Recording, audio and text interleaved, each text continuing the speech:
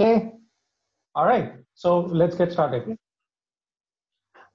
So uh, first thing that uh, I said I would cover is the Lagrangian uh, and Hamiltonian framework. All right.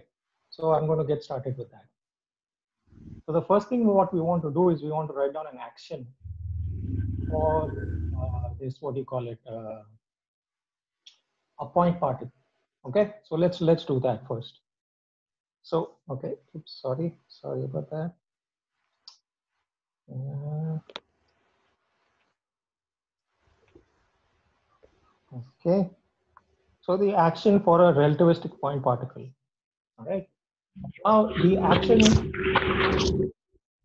uh, should be something, uh, okay, if you guys don't mind, I am going to uh, mute everybody except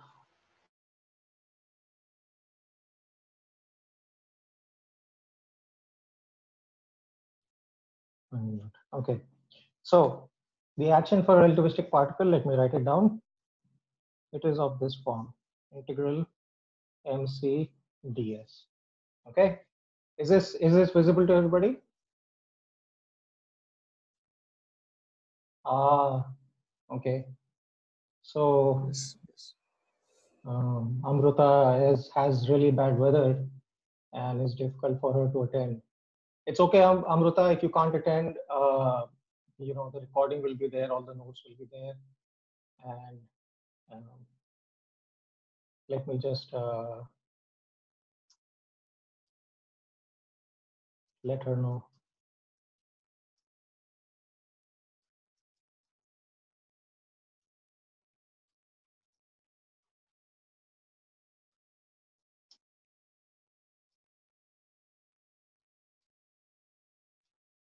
Okay, all right. So this is the uh, action for a relativistic particle. Ma m is the mass, c is the speed of light, and this s is uh, so actually instead of d of s uh, to be more accurate, uh, what I should do is I should write uh, uh, minus mc integral of root of minus ds squared. Okay. Now what is ds? Uh, what is ds squared? If you remember, ds squared is c dt squared plus dx squared, right? You, I'm, I'm audible, right? Yes, yes. yeah. Okay. So what does the trajectory of a point particle look like? Well, we all know what it looks like. Uh, let's draw the space-time diagram. Uh, right, CT. Then we have our light cone, right? And uh, the point particle has a trajectory, you know, something like this. Now, the thing is that there is nothing a priori which says that the trajectory of a point particle at all points along its path has to be uh, space-like or time-like or null, right? So if I uh, look at, at this particle, you can see that in this region over here, right? You can see here it is all space-like, right? Because the slope does not become uh, less than one at any point. But if I, you know, I'm just making this, it's arbitrary, right? In the past, if I extend it like this, now you can see that, for instance, at this point, its slope becomes less than one, right? So here it is space-like and then it becomes time-like, right? So what does it mean if the trajectory is space-like, time-like or null? We can describe that in terms of the space-time interval, right? ds squared. So ds squared can be either be less than zero, equal to zero, or greater than zero, right? So if it's less than zero, what does that mean? That means uh, that means this term c dt squared is greater than dx squared, right? So it's a time-like, it's a time-like path. Zero means that it's a light-like path and greater than zero means it's a space-like path. Okay. Now, uh, it would be very nice if we could write down a Lagrangian which would cover all three of these cases at the same time, time-like, null, and space-like. Okay. But uh, unfortunately, so far, I have not found uh, a way to do that. Okay. And I've looked in research papers and all also. And uh, apparently, it's not quite as simple a problem as one might think. So we are going to restrict ourselves only to the time-like part because that is well for a massive particle, the path will be time-like at all of its points, right? If it's massive, then that's all you can have. So for a massive particle, ds square everywhere will be zero, less than zero. It could possibly be equal to zero if the particle approaches the speed of light. So this quantity over here, that's why we have the root of minus ds squared, right? So this action refers to the action of a time part um, massive particle moving on a time trajectory. Are there any questions at this point? If there are any questions, you can un unmute yourself and just ask, okay? All right. Now, okay. where is the previous whiteboard? Okay, yeah. कहाँ गया अभी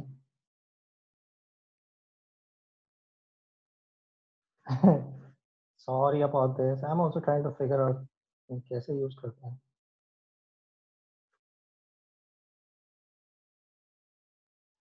Okay, I seem to have lost that whiteboard. Okay, so anyways, I'll continue on this new one. So this is the action for a point particle. Now, whenever you're doing such things, one should always be careful to ensure that the dimension, physical dimensions of mass dimensions of your quantities are what you expect them to be. Okay. Uh, so what is the dimensionality of this uh, ds quantity? So ds, as I said, is actually root of minus ds squared. So it's equal to root of uh, dx squared minus, or sorry, that's the opposite with the wrong sign. It's c dt squared minus dx squared, right? Now, dx, dt, and these are all dimensional quantities. They have dimensions of length, right? So dx has dimensions of length. So that means ds also has dimensions of length, right? So if I write down the dimensionality of this, it will be uh, L1, right? Uh, so now what I need is, uh, what is the dimensionality of the action, right? Dimensionality of the action. Anybody? What should be the dimensionality of an action? Anybody?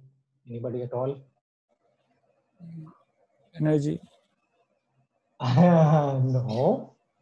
Oh, no, no, no, no.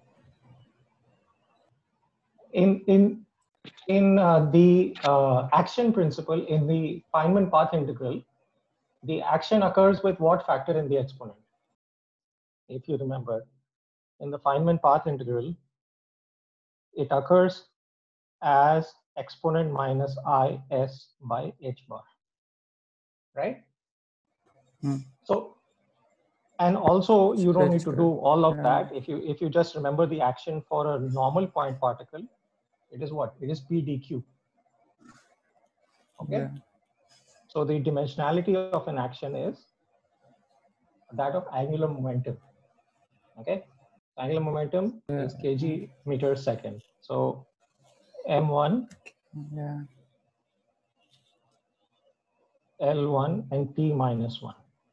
Okay, so once we have this ds quantity, we need to multiply it by something which has dimensions of uh, m1 and t minus 1. Is that right? Uh, m1 and t minus 1. This is L kg. So what is angular what is angular momentum? Uh, mvr. Uh, so yeah, so this is sorry. So this is this is wrong, right? This should be 2. So it's ml squared by 3. So we need to multiply ds by some factor which has some quantity which has dimensions of m t minus 1 and l1 right? What is this? This is the dimensionality of so this is kg meters per second right? So this is some quantity which corresponds to momentum of some kind. So what is a natural momentum we can associate with a massive point particle uh, well the most natural uh, and the only choice really is the mass of the point particle multiplied by the speed of light right? So that's how we get this mc factor over here okay? Any questions so far?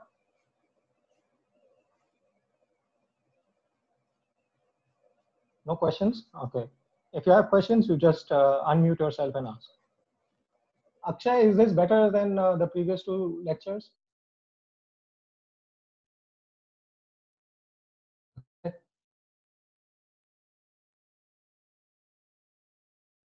Akshay has gone to sleep. Yeah, connected.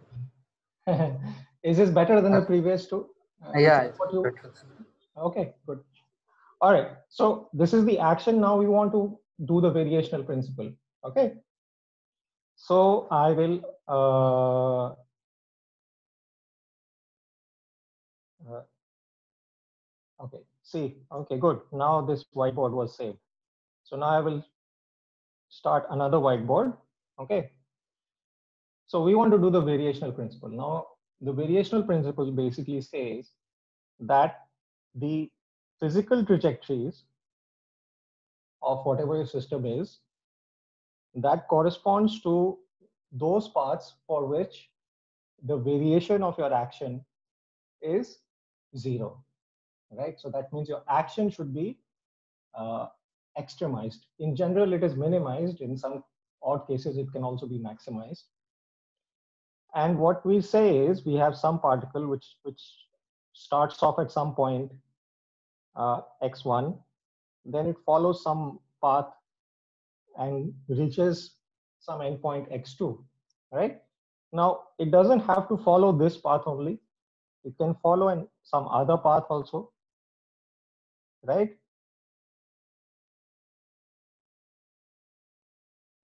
So all of these are possible paths between x1 and x2. And the action principle says that, well, again, a priori, there is no reason to prefer one path over another path, right? But then how do you describe, you know, where do the equations of motion come from? What do they correspond to? They cor there is always generally a, a unique physical path, right? So that that path comes from the requirement that so you can associate an action with any of each of these paths, right? So the action is this quantity. And here gamma denotes the path. So there is an action associated uh, with the blue path with the yellow path, red, black path, and the green path. Each one of them has an action associated with it. Right? And so the variational principle says that the physical path will correspond to that for which the, the action is minimum. And when is the action going to be a minimum? It's going to be a minimum when the change in the action is going to be zero. Okay, so let's see how we do this variational principle. So first, uh, let me uh, rewrite, uh, let me write this out ds in the full form. So it's dx, uh, sorry, uh, it's c dt squared minus dx squared, right? Now I'm going to take, uh, do a little bit of algebra. I'm going to take uh, the uh, c dt out of the square root. So I get c dt out here. And inside the square root, I get dx square by c dt square. Okay. Now what is this? What does this become? This becomes minus mc squared integral over the path. And what is the integral of 1 minus v square by c square integrated over uh, with respect to time. Okay. Now you see there is a difference between the way it is written here and the way it is written here. This expression in terms of ds, you can see is a covariant expression, right? It's the same for all observers. But this expression, we have picked out a certain t, time t, right? So we have fixed a certain observer. There's a particular observer, right? And with respect to that observer, uh, we are asking what is the velocity of the particle at each point. Okay. Uh, so both of them are fine. The second version helps us do the calculations and it's a little bit easier to do. Now, how do we do the variation of this action? What do we mean by variation? Well, variation means this, right? So you have fixed these two points, x1 and x2. So let me uh, draw that again, x1 and x2. And I have some path gamma. I want to perform a variation along this path, right? So I want to define, so this black line is gamma and the dashed line is gamma plus uh, some small change delta gamma. All right. So what, what is the original path gamma? The original path will be given by some coordinates. Uh, so, so it is some x as a function of t, right? The changed path will be given as some x as a function of t plus some perturbation, right? Plus delta x t. Okay. Everybody with me on this?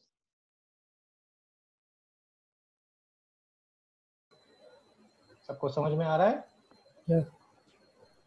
हाँ कोई question है तो बताइएगा ठीक है ना have you all you must you you must have seen the action principle in classical mechanics and all right so Yes, sir. yeah okay uh, have you seen the action principle for uh, this relativistic point particle before huh Yes. you have nitish have you all seen this before i'm asking No, sir. Huh? You had once briefly explained this in class. Yeah yeah apart from my Not own like apart detail. from my own class but any other class i'm asking No. No, oh, right. I just want to make sure that I'm not repeating too much. Okay.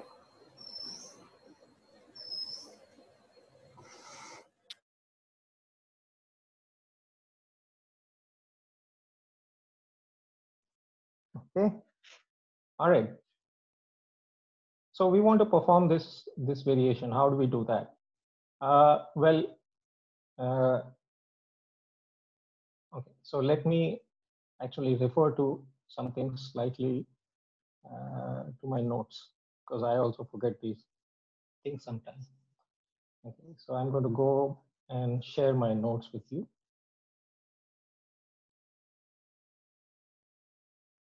What is what is Rahul saying? It should be a c square in the square root term. Yes, yes, Rahul, you're right. There should be a c square. Absolutely.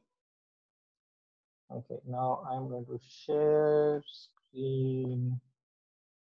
Mm, And, you know, sometimes I forget how to do the variation. Okay, so, uh,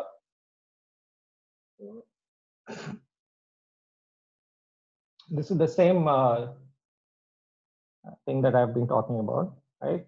Now, uh, before going to find the equation of motion, uh, let's see what we have here. right, we have minus mc square root of uh,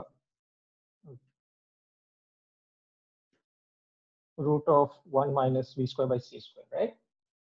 Now you can see that this, this has the form of integral of L dt, right? So that means that, okay, now I'm going back.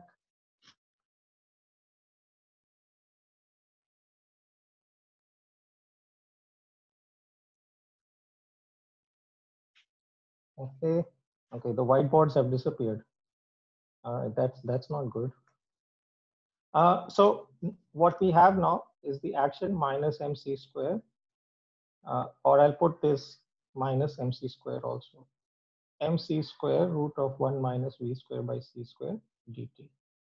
So what is this quantity? This quantity is your Lagrangian. So the Lagrangian is mc square root of 1 minus v square by c square, right? Once we have the Lagrangian, we can just use the Euler-Lagrange equations to find the equation of motion, right? So here we only have one variable x, right? So how do we, you, you know, I, I presume all of you have worked through the Euler-Lagrange formalism. So the Euler-Lagrange equations that we get uh, are uh, d by dt dl by d x dot minus dl by dx is equal to 0. These are the Euler-Lagrange equations, right? This is for a single degree of freedom, x. You can also have a system which depends on multiple degrees of freedom, in which case you would have one equation for each such degree of freedom, okay? And then there can be other more complicated cases too, but let's just leave it here. And the quantity dl by dx dot is what is known as the canonical momentum, right? Is the momentum associated with the configuration variable x.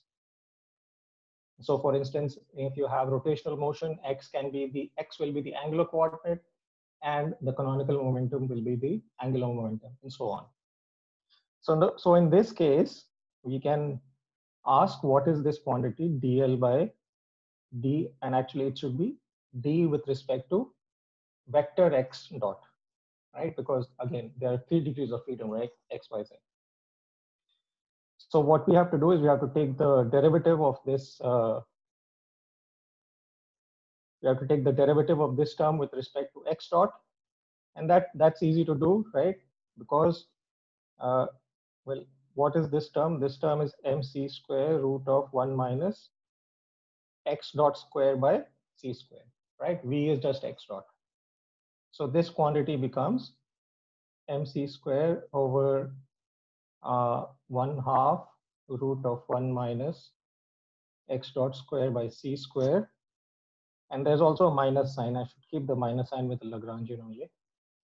And then I take the derivative of the quantity within the within the brackets, uh, within the square root sign. So I get minus, and then I get 2, and then I get 2. Uh, okay, the dot is not appearing because I'm too close to the to the top. So let me, let me 2x dot divided by c square. Okay, so c square, c square cancels out, 2 cancels out, and the negative sign cancels out. And we are left with m x dot divided by root of 1 minus x dot square by c square. What is this? This is gamma mv, right? So this just tells us that the canonical momentum associated with our point, with our configuration variable, which is the position, is our usual relativistic momentum, okay? So no no surprises there okay now the equation of motion the equation of motion involves this additional term which involves the derivative of L with respect to x. But now you can see that the Lagrangian does not depend on x at all right? So it depends on x dot but not on x. And x and x dot are independent variables. So this quantity is zero. And so that tells me that the equation of motion is simply d by dt of dl, what is in this quantity in the brackets, which is p is equal to zero. So this is my uh, this is my equation of motion, right? And that that's what I expect for a free particle. It just moves in a straight line. Its momentum is conserved, right? There are no forces acting on it. So this is the equation. This is the Lagrangian for uh,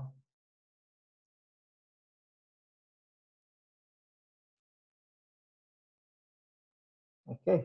Now, now the next thing is what we want to do is we want to couple a point particle to the electromagnetic field. So this is where things become interesting. All right. So, so we have this action for a for a point particle. So how does this Lagrangian Ah. Uh, reduce reduce to our normal potential energy minus kinetic energy, or is it a different? Uh, you just uh, you just expand, no? You can just uh, you can just take this uh, and do the Taylor expansion. Okay. And if you do the Taylor expansion, you will get mc square uh, plus uh, one half mv square, right? Huh, huh, huh. Uh, and there won't be any potential energy, Total energy. right? There'll be a kinetic energy and the rest energy. Okay. All right. Okay. Uh, one can all one can always add a potential term to this uh, to this to this Lagrangian. Okay, one can always do that. You can do it in different ways. So one way in which in which let's say that you want to talk about a relativistic harmonic oscillator, right? What would be the uh, for a normal harmonic oscillator? What is the potential term? For a non-relativistic harmonic oscillator, what is it? It's kx squared, Half right? X square, yeah. So what do you think the potential energy for a relativistic harmonic oscillator should look like? Well, if I had to make a guess, I would say that it would be one half x mu x mu, right? Yeah. And with a with a minus sign. So, anyways, I'll leave that to you as a problem to play around with.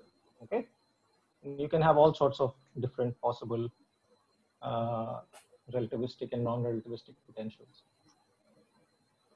Is that is this all right? Everybody's good so far? So now what we want to do is we want to couple this point particle. We want to couple it. I'm sorry, uh, my uh, this thing. My pad, this tablet is not there, there is a thing called palm rejection. So it's like when I write on this with my this uh, this stylus, and my palm touches the screen. Ideally, the screen should know that this is the palm, and it should you know, but it's not doing that. So you get these extra marks which I erase. Okay. Anyways, doesn't matter. So we want to couple a point particle to the electromagnetic field. Okay. So we have the action for a point particle and we want to say that there is an electromagnetic field. Well, first of all, how do we say that there is an electromagnetic field at all, right? Well, in covariant language, what is the description of an electromagnetic field? What variable is there which represents this field? Anybody? Vector potential. ah, vector potential. I Which mean, vector? four vector potential. Four vector potential, right? A mu. Yeah. Okay. So if you give the value of a mu at every point in space time, okay, then that tells you what the electric and magnetic field is at each point in space time, right? The electric field, uh, okay, the electric field is given by, uh, so this is the components of this quantity are what? Phi by c comma a. Uh, Okay, again, it's hard to tell where the boundary of the whiteboard is. The it's given by this, and then is it plus or minus? I always forget. dA by dt, and then the magnetic field is the root of A. By the way, is Manas not here? Manas is not here.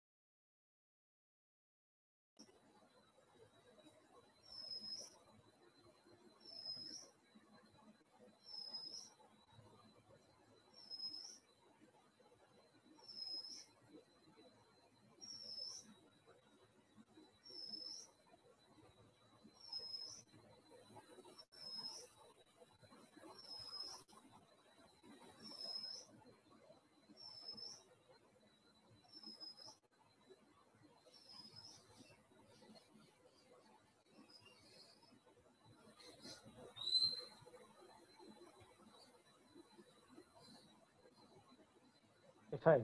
Yeah, yeah, I know. I know, Rahul. I unmuted myself. Okay, good. Uh, but the old whiteboard is gone again. So I guess uh, it's okay. So what we want to do is we want to couple this vector potential to the path of the particle, right? So the electromagnetic field at each point is given by this quantity, a mu. And how do we specify the path of the particle at each point? It's given by the position four vector x mu right? In addition to the position 4 vector, there is also the velocity 4 vector. Uh, uh, let's say u mu at each point, right? So I want to write down a term in the action which couples this vector potential to the position and the velocity. Okay, so for simplicity, let's just forget the velocity for the time being and just try to couple the vector potential and the position. Okay, so what was the action for the point particle minus mc integral ds? And to this, I want to add a term, right, which will again be some integral over the path of the particle. And this has to be some function which is a function both of the vector potential and the position. Okay. And this function has to have what property? Anybody? Symmetries? Uh, Reshma? Lorentz invariant. Lorentz invariance, right? So this has to be a Lorentz invariant quantity, right? So Now- it can also be a function of velocity. Uh, sorry, Aswant, uh, you were sort of breaking up there. Can you say it again? So so it can also be a function of the four velocity or Uh, yeah, absolutely, right? Absolutely. So, but in the simplest case, we are going to not consider that. Uh, okay. So we are Okay, just okay. going to think of coupling of position and. So the simplest Lorentz invariant quantity I can construct, I have two four vectors, uh, right? So uh, Kiran, what is the simplest Lorentz invariant quantity I can construct from two four vectors?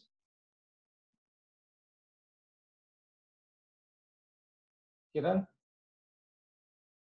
Okay.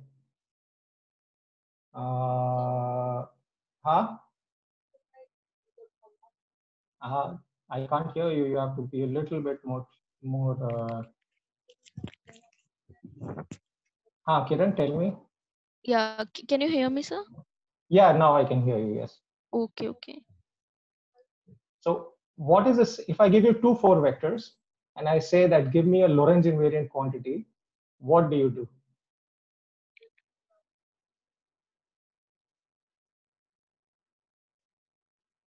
Hello. Kiran. Yeah, uh, so we have to take Lorentz invariant, right? So like the equation which you have told, uh, we can take these two vari- variables, right? Yeah, A nu and uh, x nu. yeah, yeah. And I want to I want to combine them in a way to give me a Lorentz invariant quantity, right? Yeah, So how do I combine them? What expression will that be? Uh, that I don't know, sir. Okay. Um, let's see. Um, Fariha, uh, can you uh, tell me what is the simplest Lorentz invariant quantity I can make out of two four vectors? Mm, I don't know. sir. Uh, Gajendra, Yes, sir. uh, what is the simplest Lorentz invariant quantity I can make out of four two two four vectors? Sir, don't know. हाँ Sir, I don't know. अरे यार क्या यार तुम लोग क्या कर रहे हो बाबा मैं कोई मुश्किल सवाल तो पूछ नहीं रहा यार this is just very basic it's the dot product ना it's the inner product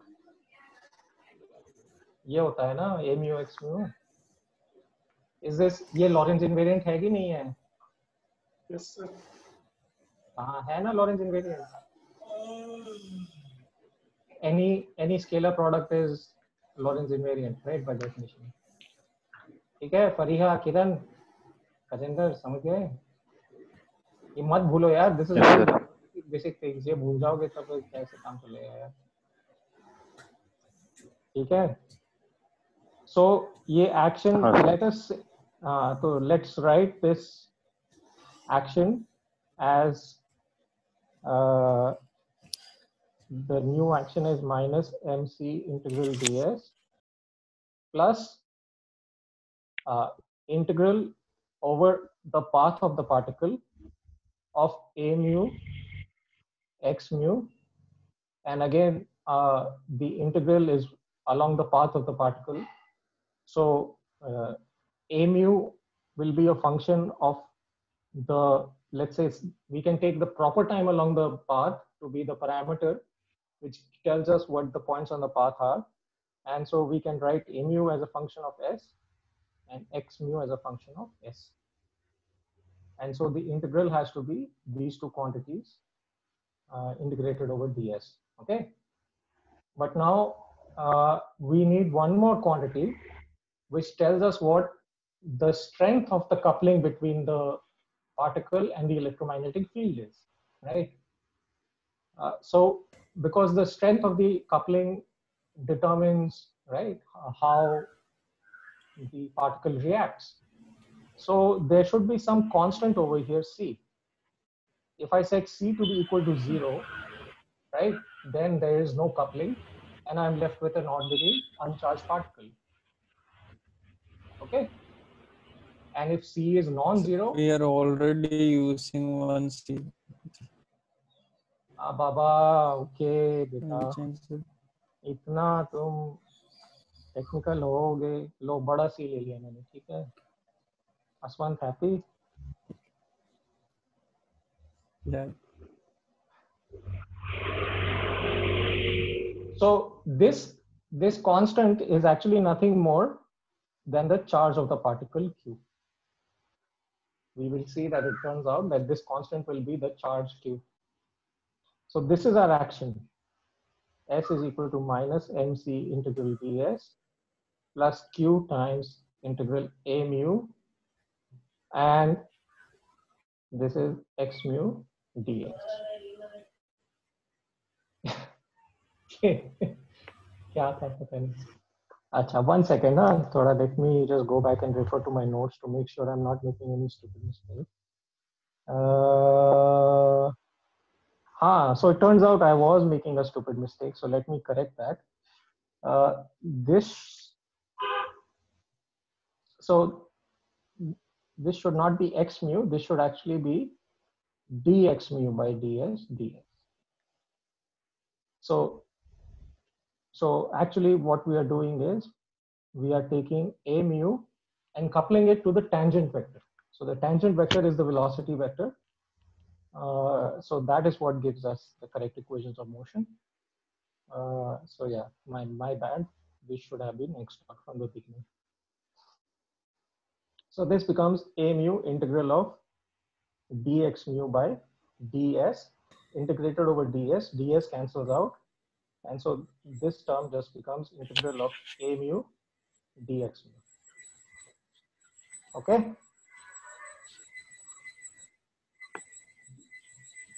So now uh, we want to do the variational principle uh, for uh, this for this action. Okay, so let's let's do that. Uh, once again, okay. So let me write a mu. A mu is phi by c a. Okay. And what is dx mu? dx mu is minus c dt, comma, vector dx. Okay. So if I take the dot product of these two, what do I get? I get minus phi dt plus a dot dx. Okay. This quantity, again, I take the t common and I can write it as minus dt phi plus a dotted with uh, dotted with v velocity vector. And so my action becomes minus mcds plus q. Uh, so this ds, if you remember, can also be written in terms of dt, right? So let me do that. This term becomes root of 1 minus v square by c square dt. And the second term becomes integral of q times uh, this thing. So there's a minus sign minus q uh, times dt times phi plus a dot v. So this is my total action now. Okay. Any questions so far?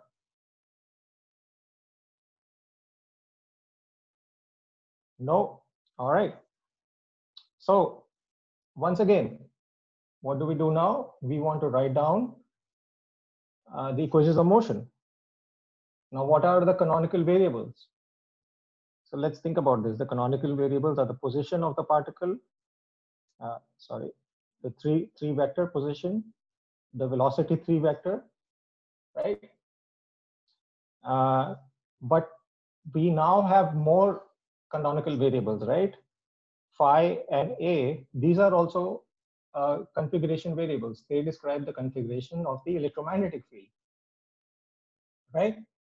But the action does not contain any terms corresponding to time derivatives of the electromagnetic field. It does not contain any term of the form d phi by dt or dA by dt, right? For instance. So when the Lagrangian does not depend on time derivatives of some configuration variable, then what, what happens, those quantities are, uh, are conserved, right? The corresponding momenta is zero. So we, we if you if you write down the Euler-Lagrange equations, um, that should be that's right, Rahul. Thank you very much. Rahul has pointed out again. This should be a minus sign here. Thank you. So again, now we have the Euler-Lagrange principle d by dt. So we will have the Euler-Lagrange equations for the position. We will have the Euler-Lagrange equations for the other two expressions also, for the other two quantities. Del phi dot minus dl by d phi is equal to zero. And then I will have an expression d by dt of dl by dA dot minus dl by dA is equal to zero. Okay. All right. So now these quantities are zero. dl by uh, d phi dot is zero. dl by dA dot is zero.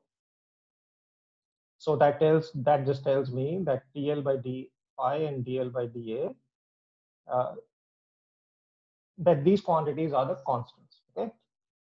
Okay. So now again, let me double check my notes, make sure that I'm not doing anything too stupid. All right. So now, before writing down the equations of motion, uh, let's just uh, look at this action. So let me, uh, um, how do I make a copy? No, that's not how you do it. Okay, so I'll just remember it and then write it on the next page. Okay. So the action is uh, there's a big minus sign, then dt, then mc square root 1 minus. I have, I'm doing this many times. Of course, you don't need to write it down so many times. And then what was it? Uh, minus q phi plus this okay. So we have plus q phi and minus q times a dot b and everything is integrated with respect to t. A kya ho gaya mere? My pen is acting over the path of the particle. All right. Now again, let's do what we did previously, which is determine the canonical momentum for the position coordinate. Okay. So the position coordinate is x. What is the corresponding canonical momentum? dl by dx prime, right? This will be the canonical momentum. And now I will write this with a capital P. Okay, you'll see why in one second.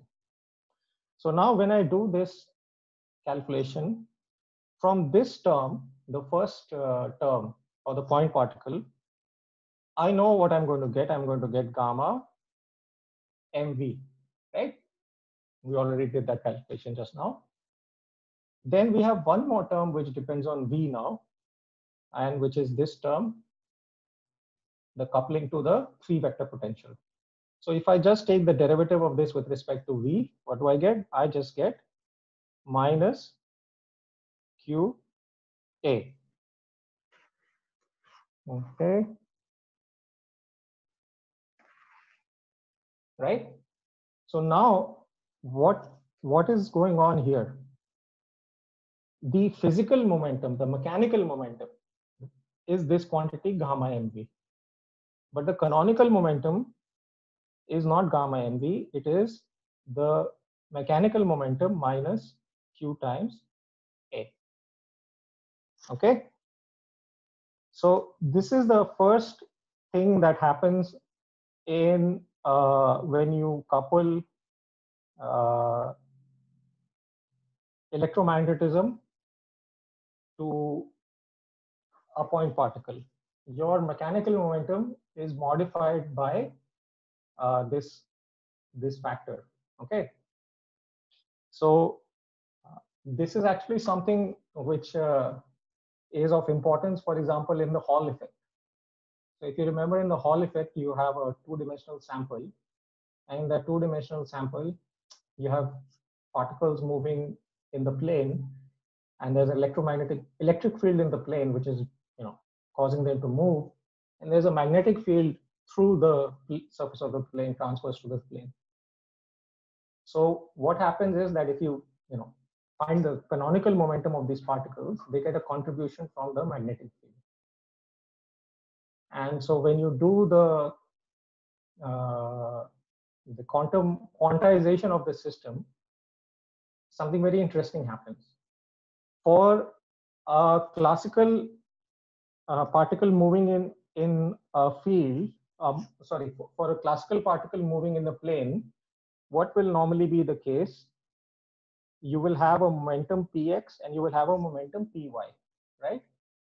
And these two momenta, they will commute with each other, right? Uh, but when you introduce a magnetic field, what happens? Now you can't use your mechanical momenta. You have to use your con your canonical momenta because that is the conjugate variable to your position. And so this quantity px py, it no longer commutes. Why? Because of this a term. You can put that a term in there and you can work it out and you will see you don't get zero. And so this has all sorts of nice consequences in, you know, and this uh, ultimately to the quantization of the Hall resistance. Okay. And now one more thing, uh, there is some factor of C that is missing somewhere. And I, and I forget uh, where that factor of C should be coming from. So as usual, I'm just going to put it in by hand. Okay. So the actual thing should be P minus QA by C. Okay. So this is our canonical momentum, P minus QA by C. Okay, now, uh, all right. So now that we have this, uh, this is our, our Lagrangian. Okay, now we can find the Hamiltonian. So once you have the Lagrangian, you can find the Hamiltonian. How do you find the Hamiltonian from the Lagrangian, Anasuya?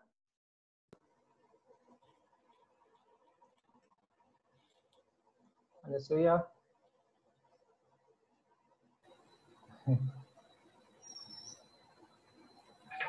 Hello.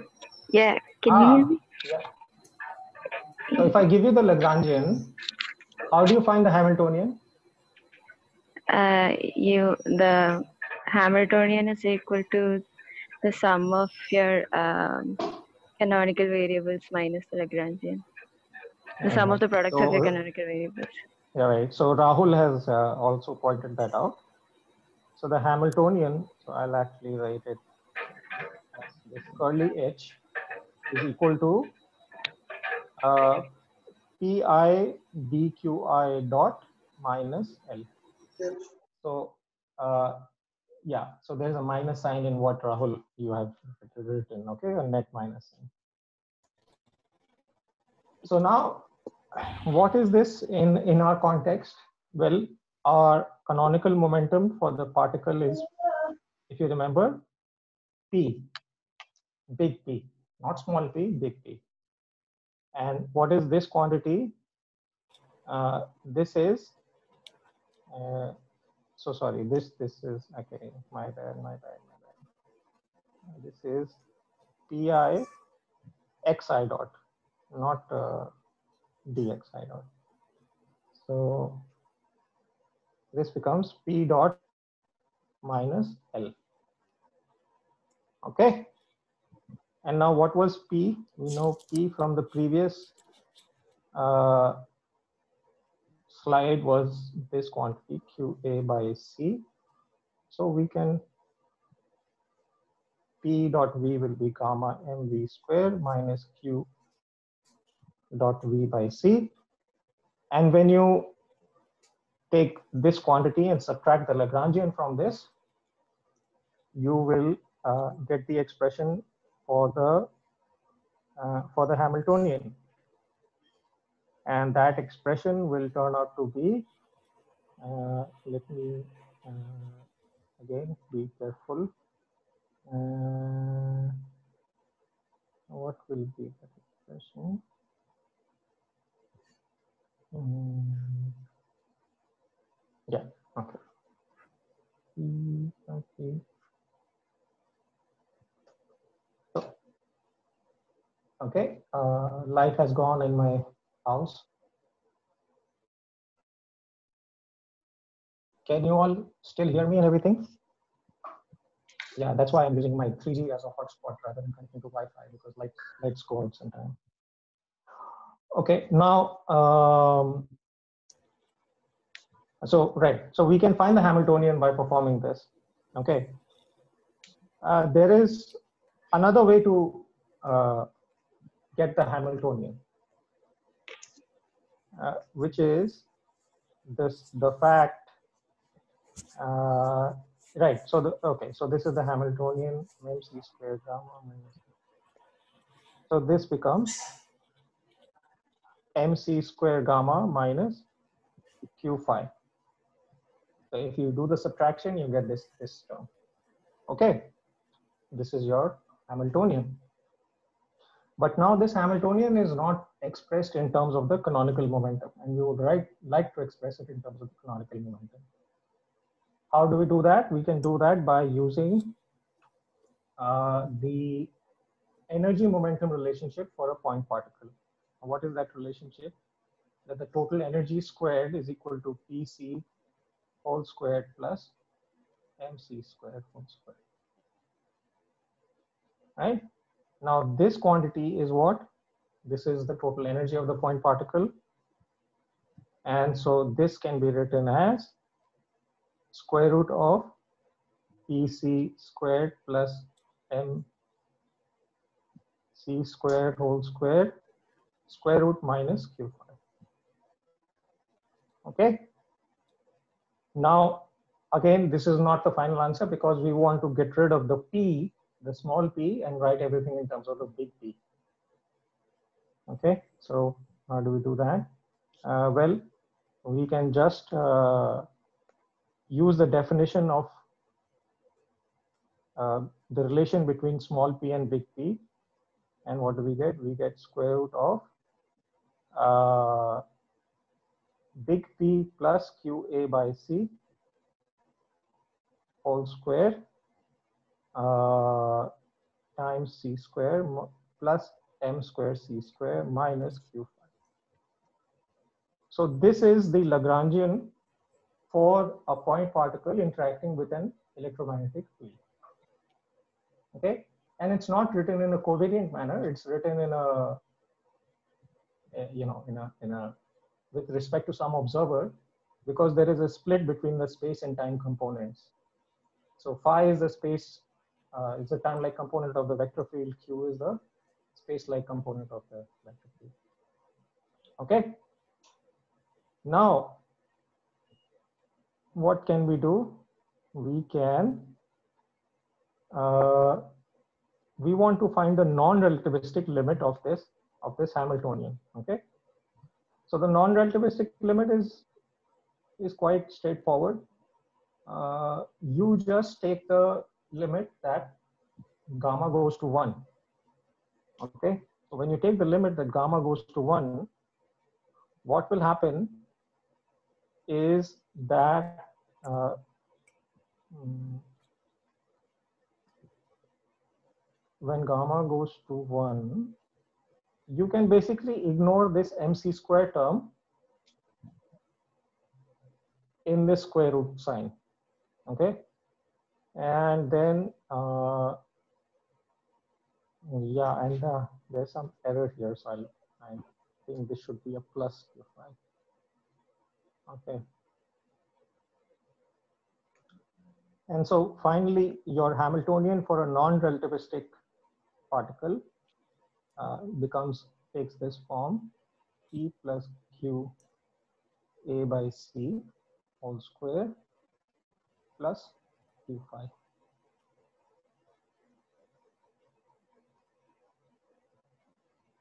This is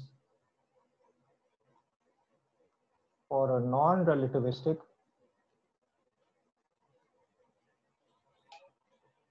point particle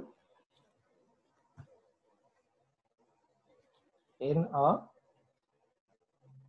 Now, and what kind of electromagnetic field is this? This is this is also important. It's a static electromagnetic field, right?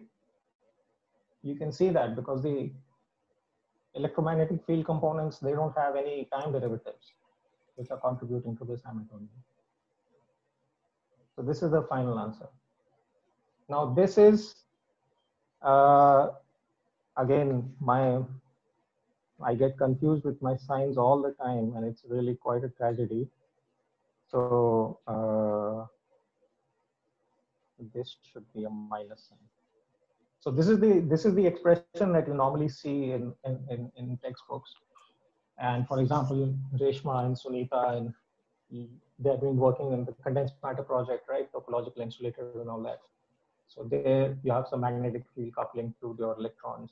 So you have a Hamiltonian which takes this form right? So it, so it looks very much similar to what you're used to. In fact, this is nothing more than your uh, this physical momentum p square by 2m. Because when you take capital P and subtract QA by C, you get the physical momentum. So this is just your normal Hamiltonian, p square by 2m. That's your kinetic energy and your potential energy is Q phi. Right? But you have to keep in mind that when working with the equations of motion, for example, for a in a Hamiltonian picture, what are the equations of motion? Anybody remember?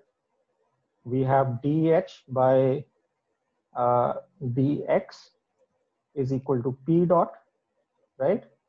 And dH by dP is equal to minus x dot, right? These are the equations of motion. But now, which P is this? This is the canonical momentum, not the mechanical momentum, right? So this should be D of capital P. So if you do the variation of this H without, with respect to this P, rather than with respect to the canonical momentum, you will not get the right answer for the equation motion. Okay? All right. So I guess this is enough for today. Um, I'll stop it here. Are there any questions? Um, I had started the poll, but no, nobody seems to have voted in the poll. Did can you not see the poll? Vaishnavi, is the poll visible to you or not? Sir, I did vote. actually. Did you vote? It says 0 to 15, 0% have voted. I too voted. Yeah, I voted too. Uh. It's not visible, sir. Huh? Acha, I'm going to relaunch it, okay? Relaunch. Visual. So you all will have to vote again. So can you all vote again? Sir, sir, I doubt. You see the poll now? Yeah, yeah. Who's Yeah. asking? Sir, which is the uh, P in Not Hamiltonian? Is that the canonical Who's momentum or Ah, Divya, what is the question? Sir, which P is in the Hamiltonian? Which? You have corrected it to minus sign, right? P minus QA by C the whole square. Yeah, yeah, yeah. Which P is that? Ah, so the capital Which P, P? na, cap, that is the capital P minus QA by C square, na?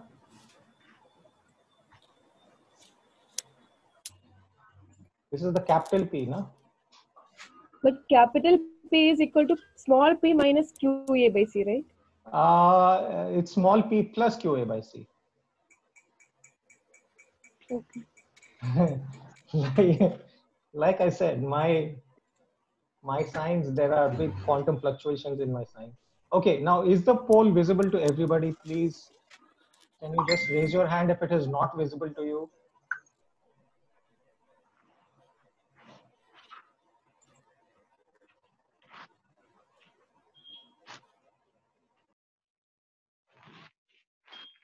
Hello? Akshay has yes. voted, Rahul has voted, uh, Kiran has voted. Can everybody, if you have voted, just say I voted in the chat? That way it will be like, okay, you voted. I voted, sir. Bahut badhiya, bahut badhiya. Very good, very good. Akshay, is the poll not visible to you? Reshma is voted, Nasira is voted. Excellent. Aswan, Divya, Akshay Akshay आपको ये is the poll not visible to you I voted sir you voted अच्छा so I low your hand ठीक है? Nitesh no sir is not visible on my computer poll नहीं दिख रहा। अच्छा आम तो ये तो हम्म क्या बताऊँ? मैं आ, आपके पास क्या है? सेल फ़ोन है या लैपटॉप है? क्या Laptop है? लैपटॉप है लैप- सर तो लैपटॉप पे तो विजिबल होना चाहिए पूरी स्क्रीन पे। कौन सा विंडोज़ है? क्या है? विंडोज़ है उबुंटू है क्या है? विंडोज़ है सर विंडोज़ है। होना चाहिए ये पोल पता नहीं क्यों विजिबल नहीं है। हाँ? अच्छा has everybody voted is anybody who has not voted Gajendra Kartik Yes, sir. आपने वोट वोट कर दिया इस पोल में? Yes, sir. Yes, sir. अच्छा आपने कुछ चैट में नहीं लिखा ना इसलिए आई डोंट नो ठीक है? So anybody who has not voted can please vote ठीक है? Before I end the poll और if you have any questions you please ask I do have a question, sir. हाँ हाँ Uh, sir, in the entire entire derivation, we were silent about the nature of particle, whether it's charged or uncharged. So unless we go for the nature of coupling constant, we can't determine. So is it like a misleading thing, thing like we are not specifying the particle? Uh, this is so yeah no this is a very nice uh, state question that point that Vaishnavi is making that we are not like uh, so what is the charge of the particle right? The charge of the particle if you see it comes as an effective term right? It comes from it comes from this constant right? Which determines the strength of the coupling of the electromagnetic field to the position of the particle or to the you know velocity of the particle. So this should be uh, this should be dx by ds. So if this constant is a zero, then there is no coupling, right? So this constant is what we identify with the charge. right? But this does not satisfy you, I think.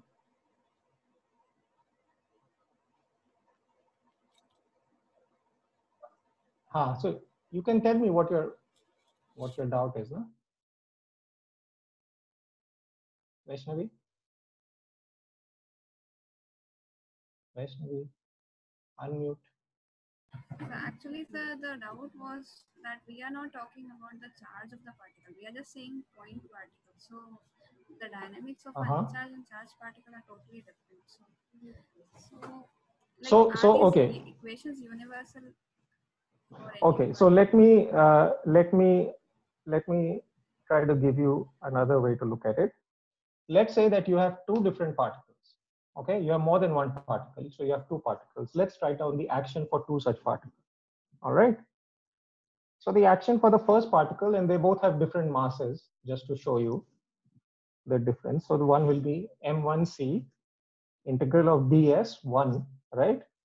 Gamma one, the path of the first particle, plus q1 right a mu dx mu by ds ds right and this is all at the at the location of the first particle these quantities then the second particle is also there and its action is m2c right it's the same thing but it now it can follow a different path and when we write down the coupling for this second particle, right? So I'll put it one over here and here I'll put a dx mu 2. this coupling can be different, right? Right? So you have Q1, which determines the coupling of the first particle. Q2, which determines the coupling of the second particle. Right? So we should identify this Q with the particle itself, right?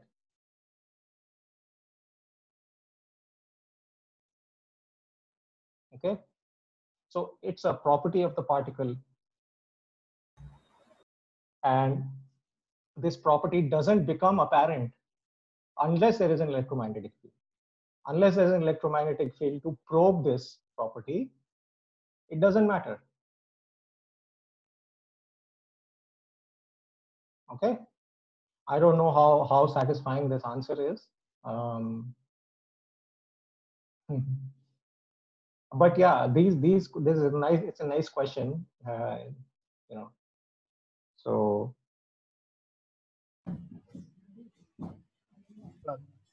Yeah, Akshay.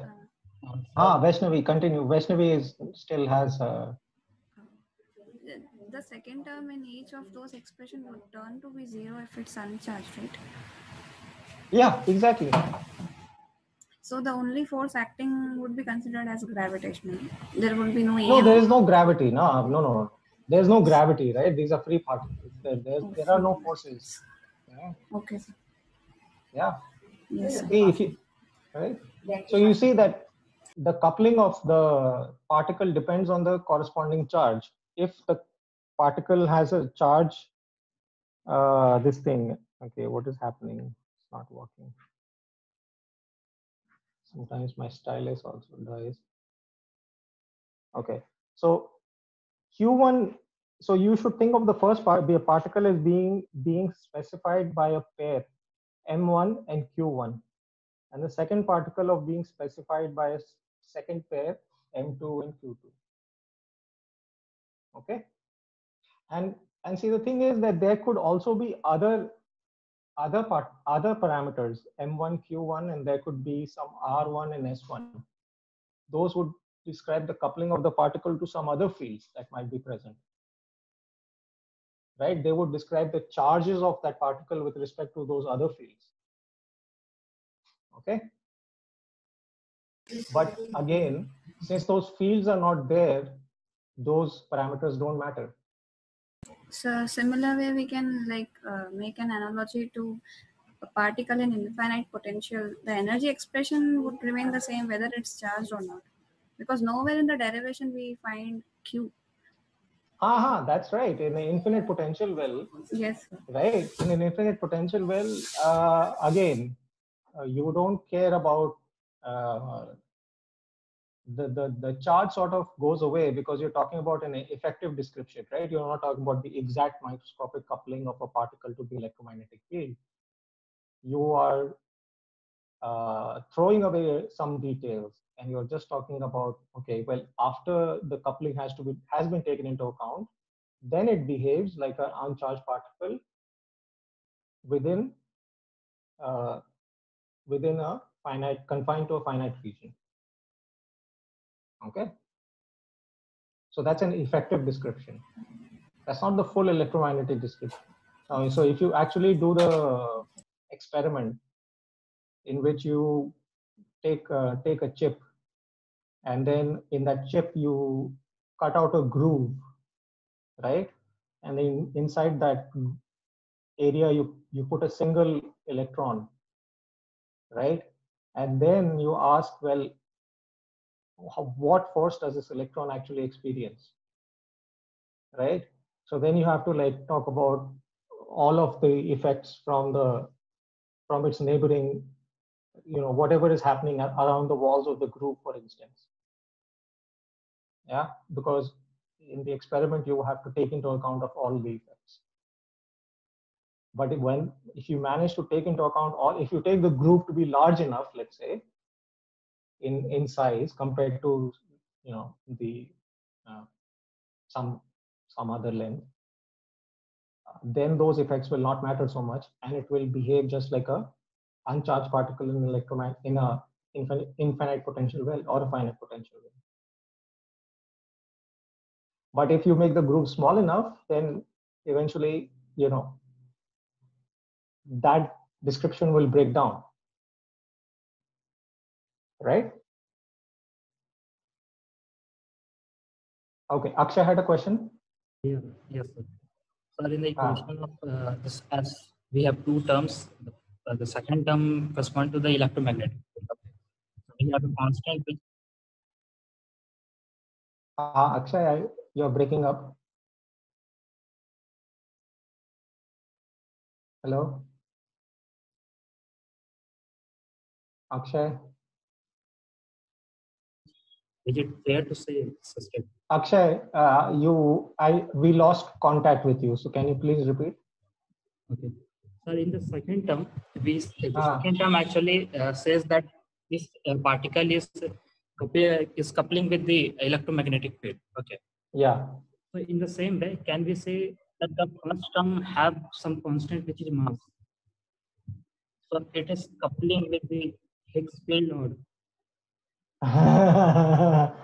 okay, okay, okay. हाँ अभी हाँ Higgs wigs को बीच में मत लाओ अक्षय ठीक है no, it's look like हाँ same, similar. नहीं नहीं that that's all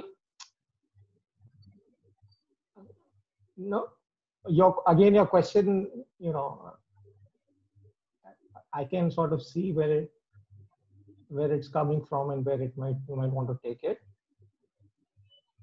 but slow down a little bit ठीक है uh, Higgs field वगैरह I mean like not telling you not to ask the question I'm telling you that well you have to understand a little bit of the formalism of the Higgs field and symmetry breaking and all that ठीक है ना because otherwise you're just like speculating in the air हवा में मतलब ऐसे ही बन रहा है ठीक है मैं ये नहीं कह रहा कि तुम्हारे क्वेश्चन में कोई फिजिकल कंटेंट नहीं है ठीक है Yeah.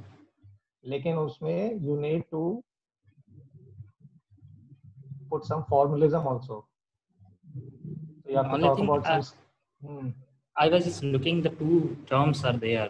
So first uh, the second Ah, so, is ah, so, so again, again, the same thing, now that the microscopic physics is that there are there are some fields, yeah. there are some fermionic fields, and they interact with some other field, which is a scalar field, and then this undergoes this symmetry breaking. This symmetry breaking leads to a generation of an effective mass for the massless fermions. Okay, and then those massless fermions they couple to form bosons. Okay, and then those bosons have some mass. Now, for those particles, you want to write down an action.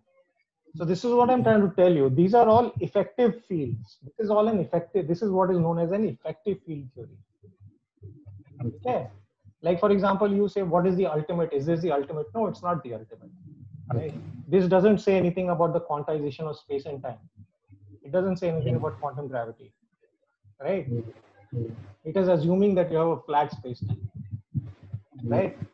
Whether that assumption is correct or not, that that is not necessarily the case. Right? So an action principle does not give you the full truth of reality. Okay.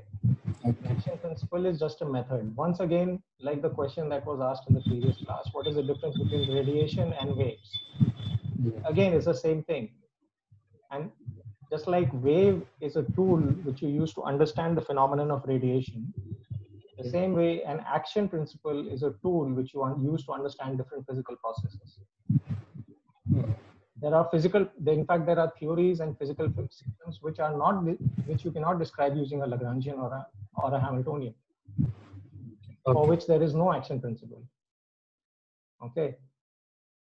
So again, don't like think that, okay, this is an action, it describes everything. No, it doesn't do that. Even the action for a standard model, you will see some people have t-shirts with that printed and then they say some big fancy thing like this is the word of some god or some nonsense like that. No, it's not. It's just an effective field theory. You don't know what the underlying theory is. We are still trying to figure out what the underlying theory is. And if we do figure out an underlying theory, it will not be so complicated. Right? Okay. So I think I'll leave it here. I think everybody has uh, been here for a long enough time. I hope everybody has voted. And uh, if you have any other questions, um you can just uh, WhatsApp me or keep them Sir, in sir, mind. I have one session. question. Uh. Okay, so so so in this uh, Lagrange in this action, so how will the Hmm. term corresponding to the uh, action of the electromagnetic field look like? Of the electromagnetic field itself, no? Huh? Yeah, Yeah, so that that takes Yeah, this yeah. form. not the cor- coupling.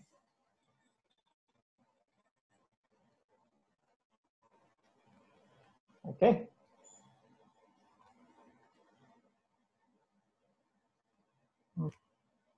So Yeah. So this is this is this becomes a field theory now. Okay. So this is no longer you're not describing the dynamics of a point particle. You're describing the dynamics of field at every point in space-time. So instead of just being an integral over the path, it's an integral over the entire space-time. Yeah. This we'll we'll talk about. I'm, I'm waiting to see what the results of the polar. Okay. All right. So we'll leave it at that. Uh, if you have any questions, please keep them for the next class, which we will keep on Monday at, at the same time. Okay. Is that okay with everybody? All right. So I have sent the notes. I have shared the recordings of the previous two Zoom sessions, and I will share this recording also today itself. Uh, I asked you all to do a homework assignment and send it to me. Nobody has sent me so far. Uh, I want all of you to send it to me by Saturday at the very latest. Derivation of Maxwell's equations from the covariant expressions. Okay? And I'm serious about this because your grade will depend on this. Okay? Uh, all right. Uh, I hope everybody had a fun time. And uh, that's it. Bye bye.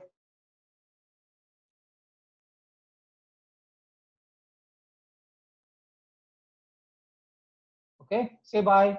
Bye bye. Nobody's saying bye bye. Bye, Rahul. Feels feels nice to say bye bye. I don't know. Okay. Bye. Bye. Thank you, Ashwin. Bye.